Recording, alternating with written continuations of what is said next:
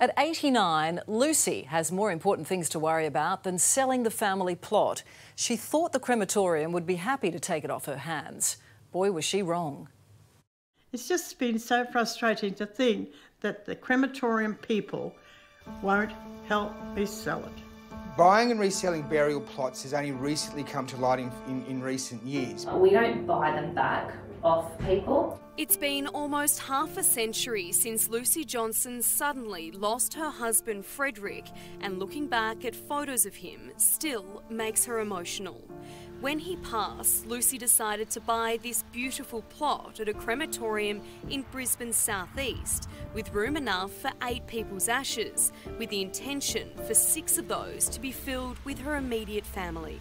And didn't have to worry about, you know, buying and, and Lucy paid $300 for the plot, which was big money back in 1973. And that was extremely expensive. I had to get a loan of the money to pay for it.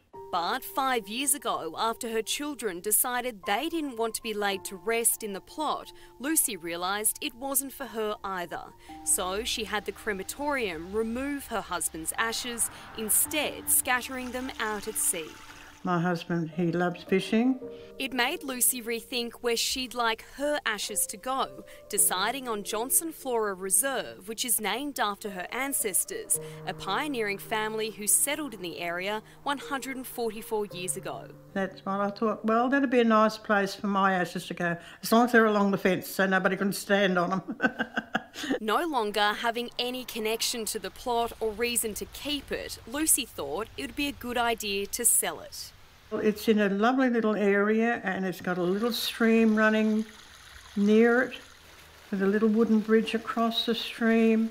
Lucy initially thought Mount Thompson Memorial Gardens and Crematorium would buy the plot back from her, but they told her that's not an option.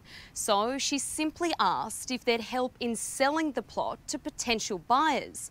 But again, the answer was no. So they won't even take anybody near to have a look at it because it's not theirs.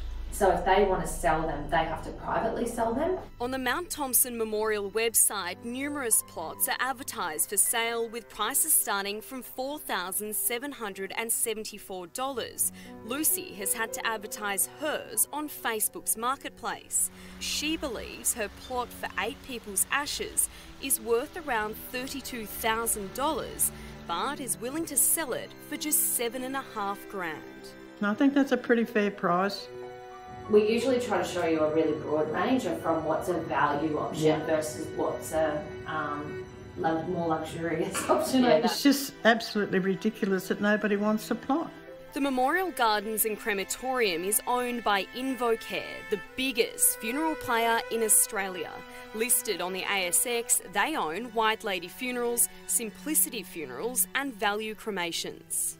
The cemetery and crematory, they have operational costs. They are a business. If I was in that situation, I would actually look at assisting her any way that I could. Southern Cross Funerals Managing Director Matthew Quoker and his family have been in the industry for three generations. It's only been in recent times that buyback has been something that's been looked in within the industry. But it's up to the individual crematorium to determine their own terms and conditions. Some uh, regional cemeteries that are council run do actually purchase back plots from families. However, due to the red tape involved, they only offer to purchase back those plots at the original purchase price. To think that you've got to go to all this trouble to get it sold.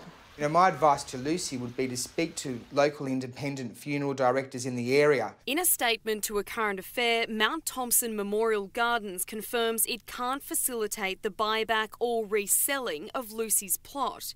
Senior managers have offered full support during this process and have been in regular communication, adding staff are available to show the plot to potential purchasers. I'm just hoping I'll be able to sell it.